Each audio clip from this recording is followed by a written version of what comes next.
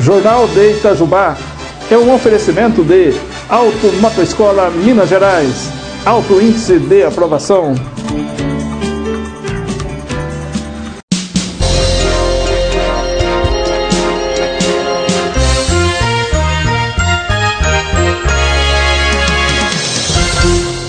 Boa noite, web espectadores da TV Itajubá. Hoje é dia 8 de dezembro de 2016, quinta-feira. Estamos iniciando mais uma edição do Jornal de Itajubá, aqui pela TV Itajubá, esta TV que você assiste todos os dias. Vamos aos destaques da edição de hoje. Ministério Público investigará denúncias contra presidente e diretor da Câmara Municipal de Itajubá. E dia de Nossa Senhora da Conceição, feriado municipal em Belo Horizonte relator da Previdência na Câmara já declara apoio. Assistam estas e outras notícias agora aqui no Jornal de Itajubá.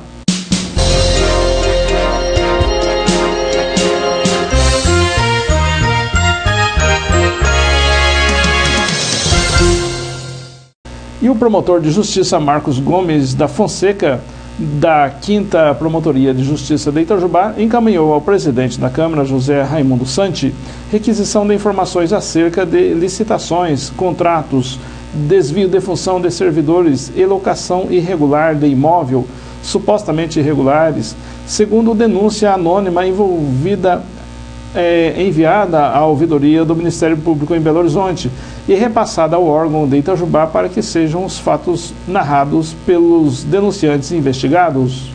E com a proximidade das festas de fim de ano, os itajubenses se acostumaram a ver nessa época a cidade enfeitada e reluzente, mas a tradição pode ser quebrada este ano, ou não acontecer com a mesma intensidade dos anos anteriores.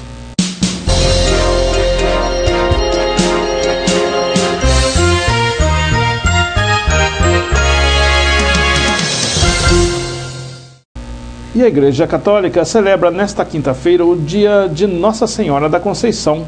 Em Belo Horizonte é feriado municipal e tem missas em várias igrejas.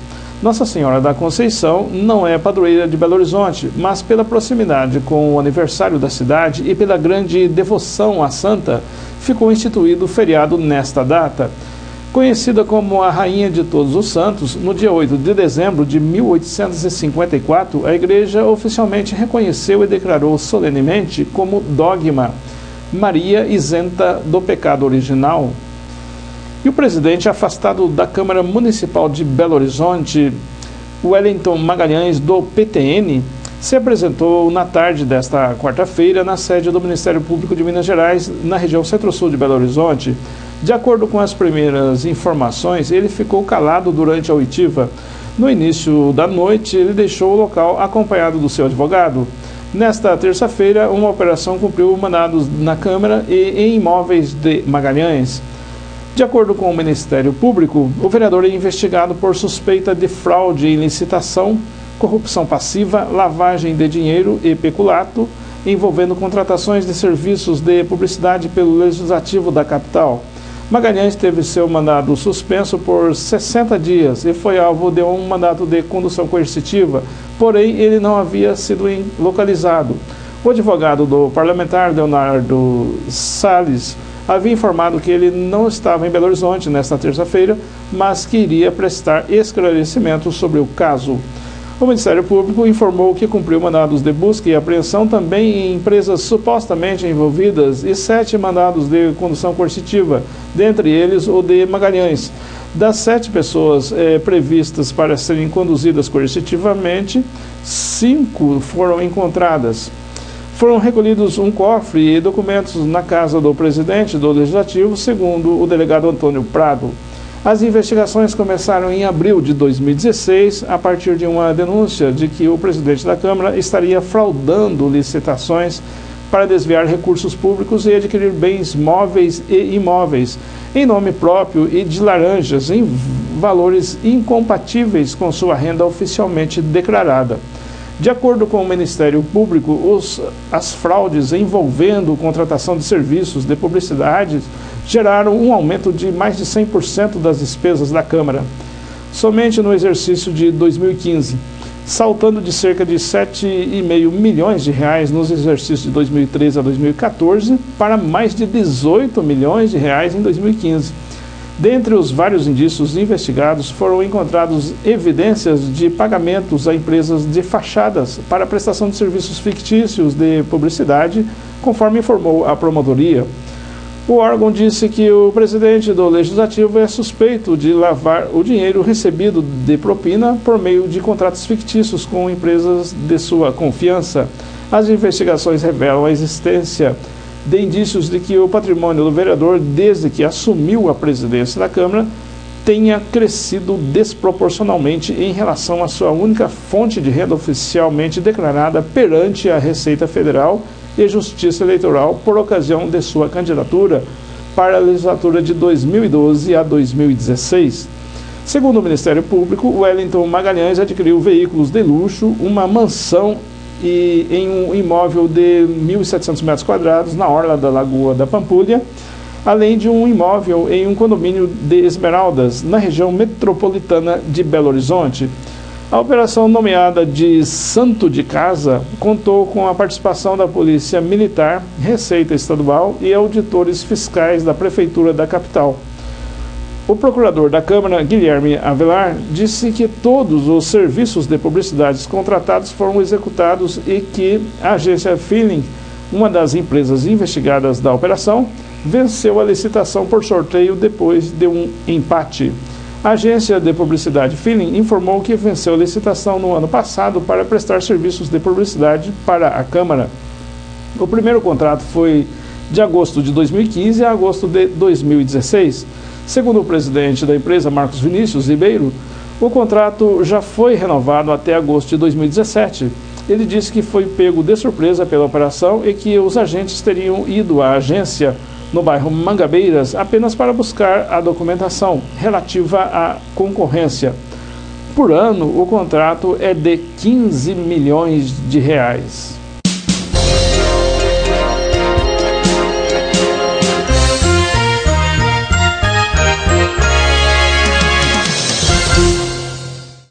E o deputado Alceu Moreira, do PMDB do Rio Grande do Sul, anunciou nesta quarta-feira que apresentará parecer pela admissibilidade da PEC, que é a proposta de emenda à Constituição que trata da reforma da Previdência. Ele divulgou seu posicionamento menos de 24 horas após o governo apresentar a proposta e no mesmo dia em que foi oficialmente nomeado relator da matéria na CCJ, que é a Comissão de Constituição e Justiça da Câmara primeira fase da tramitação da PEC na casa.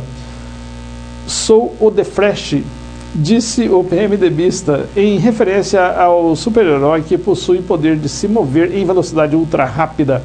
Moreira contou que antes da apresentação da PEC pelo Palácio do Planalto, já havia sido sondado pelo líder do governo na Câmara, deputado André Moura, do PSC de Sergipe, sobre a relatoria.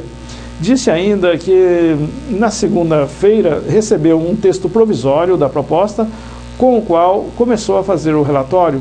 O deputado do PMDB disse que dará parecer pela admissibilidade da PEC, pois a proposta não fere nenhuma cláusula pétrea da Constituição, por não mexer em direitos adquiridos. Ele reconheceu que há uma polêmica sobre as regras de transição para homens acima de 50 anos de idade e mulheres acima de 45 anos, mas argumentou que expectativa de direito não significa direito adquirido. A rapidez com que anunciou seu parecer foi alvo de crítica e provocou bate-boca nas redes sociais. Em resposta aos internautas, o deputado afirmou que tem 62 anos de idade e que sua aposentadoria está requerida pelo regime geral da Previdência Social e não por outro regime especial para políticos. Alguns deputados também criticaram a rapidez de Moreira o deputado Silvio Costa, do PT do B de Pernambuco, afirmou que a PEC precisa ser debatida com calma e sugeriu a realização de um plebiscito sobre a reforma. Ele disse que é preciso escutar o povo do Brasil. E a decisão do Supremo Tribunal Federal de manter Renan Calheiros, do PMDB de Alagoas, no comando do Senado Federal representou uma vitória do Palácio do Planalto, que atuou para salvar o aliado desde segunda-feira, logo após a liminar concedida pelo ministro Marco Aurélio Melo. Mantido, mantido no cargo, Renan telefonou para o presidente Michel Temer e confirmou para a próxima terça-feira a votação do segundo turno da PEC, que limita os gastos públicos e é considerada um dos pilares do ajuste fiscal. Também está na pauta a lei de diretrizes orçamentárias. O Planalto tenta ainda eh, desconstruir a tese de que houve um acordão Michel Temer estava satisfeito com a retomada da normalidade institucional, conforme ele disse, que considera fundamental para devolver estabilidade política ao país e criar condições para o crescimento. A fórmula encontrada pelo Supremo foi costurada com a ajuda do Planalto. Ao longo de terça-feira, quando Renan, depois de se recusar a receber a notificação para se afastar da presidência do Senado, se reuniu com o presidente. O líder do governo no Senado, Aloysio Nunes Ferreira, do PSDB de São Paulo, disse que a decisão do Supremo foi muito positiva. A equipe de Michel Temer também avalia que o vice-presidente do Senado, Jorge Viana, do PT do Acre, contribuiu muito para o desfecho do imbróglio. O governo eh, mandou emissários para conversar com o petista para que, caso assumisse o lugar de Renan, garantisse a votação da PEC do teto no dia 13. O Senado deu sinais de que não espalharia os planos, não atrapalharia os planos do executivo, apesar da pressão de seu partido. Com a TV ligada, Michel Temer estava em seu gabinete no terceiro andar do Planalto, acompanhando a votação com a TV.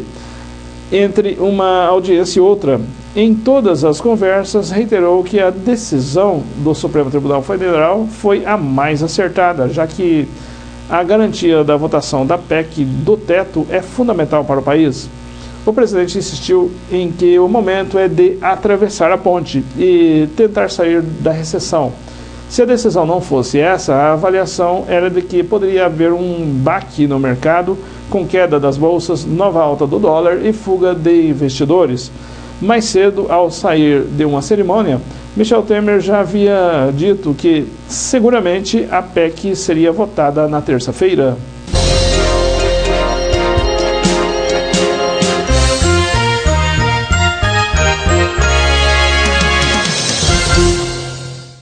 E agora vamos conferir os dados da economia de hoje. O dólar foi cotado com alta de 0,37% a R$ 3,40 hoje enquanto que o euro é, também sofreu alta de 0,45% e foi cotado a R$ 3,65.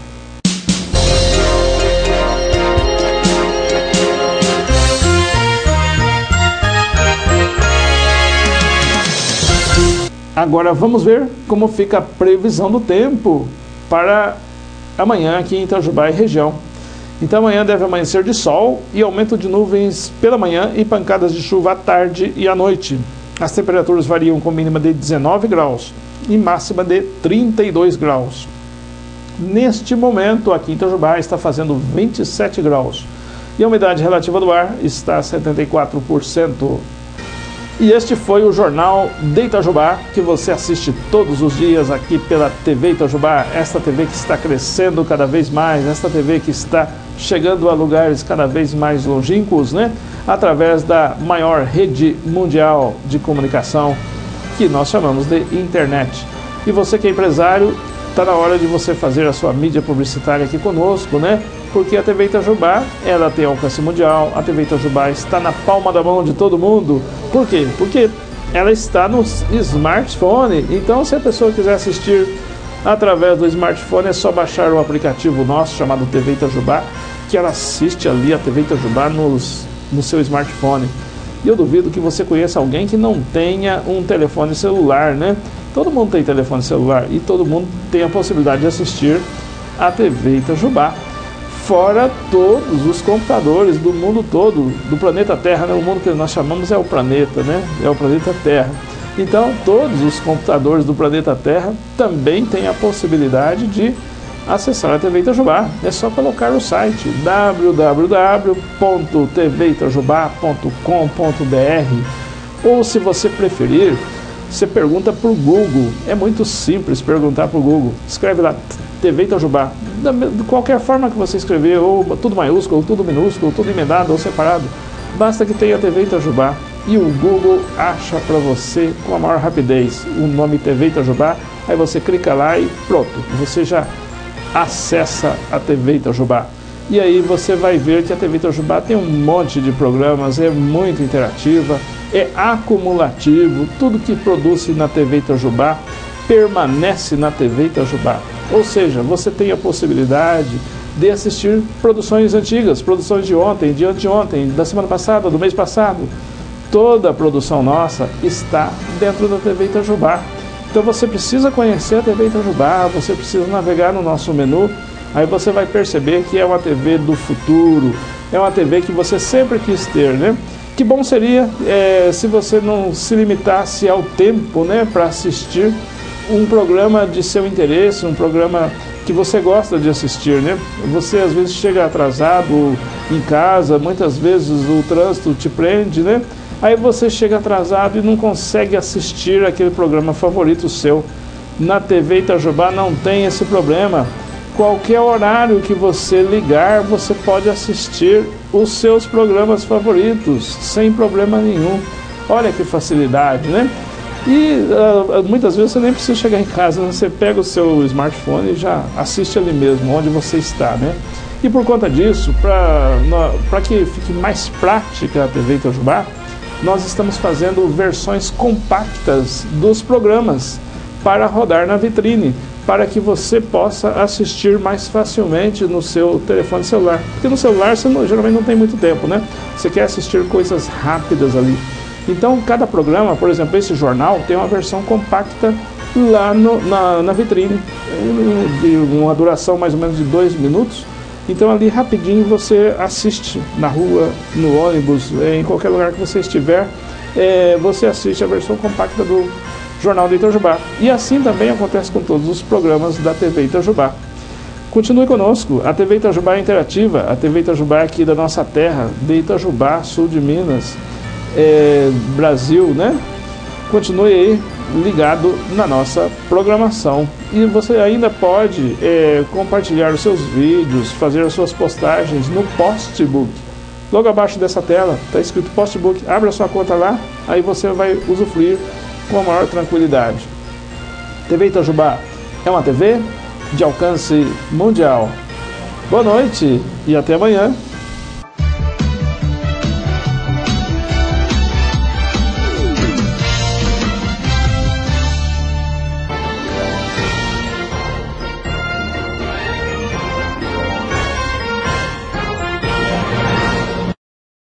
Jornal de Itajubá é um oferecimento de Auto Motoescola Minas Gerais. Alto índice de aprovação.